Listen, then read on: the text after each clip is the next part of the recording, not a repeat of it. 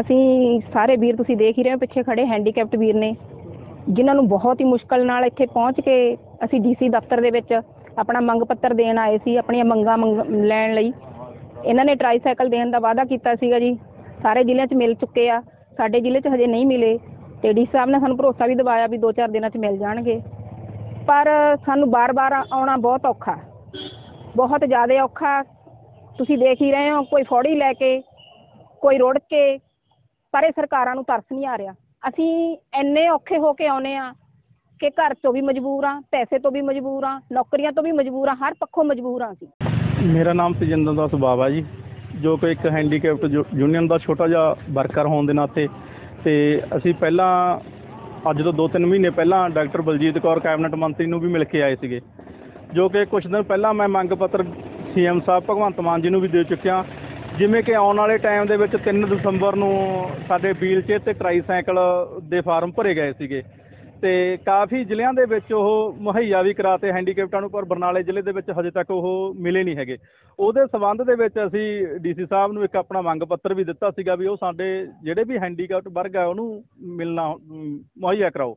ਦੂਜਾ ਨੰਬਰ ਵੀਰੇ, ਸਾਡਾ ਮੇਨ ਮੁੱਦਾ ਸੀਗਾ ਜਿਹੜਾ 5000 ਪੈਨਸ਼ਨ ਦਾ ਸੀਗਾ। ਸਮੇਂ ਅਨੁਸਾਰ ਸਾਡੀ ਕਦੇ ਪੈਨਸ਼ਨ ਆਈ ਨਹੀਂ ਹੈਗੀ। ਵਰਗ ਬਹੁਤ ਹੀ ਪਰੇਸ਼ਾਨ ਹੈ।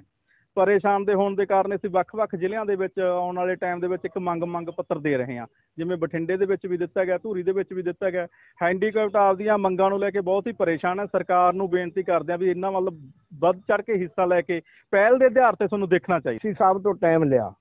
ਟਾਈਮ ਲੈਣ ਦੇ ਮੁਤਲਕ ਸਾਨੂੰ ਜਿਹੜੇ ਬੰਦੇ ਸਾਡੇ ਦੂਰੋਂ ਦੂਰੋਂ 25 25 30 30 ਕਿਲੋਮੀਟਰ ਤੋਂ ਆਏ ਵੇ ਨੇ ਪਹਿਲਾਂ ਤਾਂ ਉਹਨਾਂ ਦਾ ਹਾਲਤ ਦੇਖੋ ਵੀ ਉਹਨਾਂ ਦੀ ਹਾਲਤ ਕੀ ਹੈ।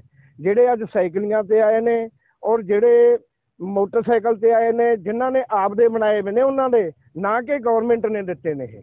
ਉਹਨਾਂ ਨੇ ਆਪਦੇ ਅੱਜ ਜੇ ਇਹ ਮੋਟਰਸਾਈਕਲ ਦੇ ਆਪਾਂ ਟਾਇਰ ਲਵਾਈਏ 14000 ਰੁਪਇਆ ਲੱਗਦਾ ਹੈ। 14000 ਰੁਪਇਆ ਸਾਨੂੰ 1500 ਰੁਪਇਆ ਪੈਨਸ਼ਨ ਦਾ ਮਿਲਦਾ ਕੰਮ ਕਰਨ ਜੋਗਰੇ ਸੀ ਹੈ ਹੀ ਨਹੀਂ। ਸਾਨੂੰ ਇਹਨਾਂ ਨੇ ਇੰਨਾ ਹੈਰਾਨ ਕਰਤਾ। ਮੈਂ ਹੈਰਾਨ ਹੀ ਕਹੂੰਗਾ, ਕਿਉਂਕਿ ਅਸੀਂ ਆਪ ਅੰਦਰੋਂ ਦੁਖੀ ਹੈ, ਤਾਂ ਬੋਲ ਰਹੇ ਹਾਂ। ਔਰ ਜਿਹੜੀ ਸਾਨੂੰ ਕਣਕ ਮਿਲਦੀ ਹੈ ਜਿਹੜੀ ਕਣਕ ਮਿਲਦੀ ਹੈ ਇੱਕ ਬੰਦੇ ਨੂੰ 4-4 ਕੁਇੰਟਲ ਹੈਂਡੀਕੈਪਟਰ ਨੂੰ ਮਿਲਦੀ ਹੈ, ਨਾ ਕਿ ਸਾਡੀ 30 ਕਿਲੋ ਕਣਕ ਚੋਂ ਵੀ ਸਾਡੀ ਉਹ ਕੱਟੀ ਜਾਂਦੀ ਹੈ। ਇਹ ਜਿਹੜੀਆਂ ਅਸੀਂ ਮੰਗਾਂ ਮੰਗਦੇ ਆ ਨਾ ਕਿ ਸਾਨੂੰ ਲਾਰਾ ਲਾ ਕੇ ਗਾਹਾਂ ਵਧਾਉਂਦੇ ਨੇ। ਅੱਜ ਨਹੀਂ ਜੀ, ਤੁਹਾਨੂੰ ਅਗਲੇ ਟਾਈਮ 'ਚ ਦੇਵਾਂਗੇ। ਹੁਣ ਜਿਹੜੀਆਂ ਸਾਡੀਆਂ ਹੈਂਡੀਕੈਪਟਰ ਟ੍ਰਾਈਸਾਈਕਲ ਨੇ, ਉਹਨਾਂ ਵਾਸਤੇ ਅਸੀਂ ਮੰਗ ਪੱਤਰ ਅੱਜ ਦਿੱਤਾ ਹੈ।